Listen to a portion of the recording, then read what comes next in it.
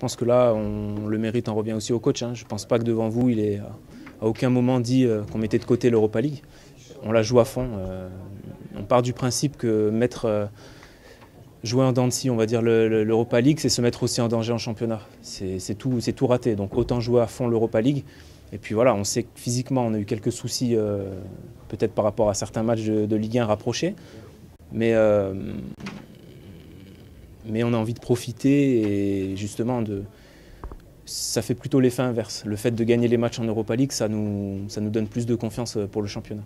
On, est, on savait qu'on répondrait présent. Après, euh, je ne sais pas si on se qualifiera, on va tout donner pour ça, mais en tout cas, euh, on est d'ores et déjà très très fiers de notre parcours et, de, et surtout de rapporter des points à la, à la France pour l'indice UEFA. C'est quelque chose qui n'est pas anecdotique, chose qui est important aussi parce qu'il y a eu beaucoup de doutes qui ont été émis euh, sur Guingamp et sa capacité à, exister en Europa League. On est présent et il y a encore du taf.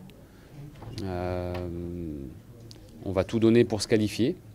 Euh, et s'offrir un, magnifique, j'espère, 16e de finale, mais il y a encore du travail. Mais en tout cas, on est présent là aujourd'hui, on est, on est très fiers de ce qu'on a fait.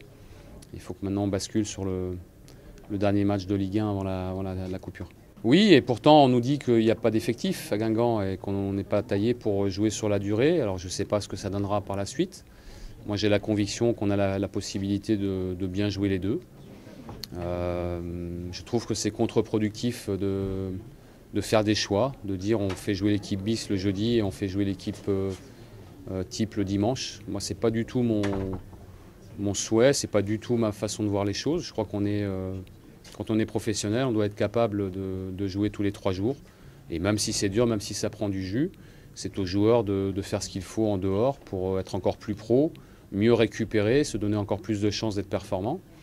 Mais ça fait partie du haut niveau. Quand on est joueur, on ne peut pas d'un côté dire moi je veux aller le plus haut possible et puis, euh, gérer euh, ou le jeudi ou le dimanche, c'est pas, pas concevable. Je crois que les joueurs euh, ont compris ce message-là. On donne tout le jeudi, on donne tout le dimanche. On ne gagne pas tous les matchs, mais en tout cas, on donne tout.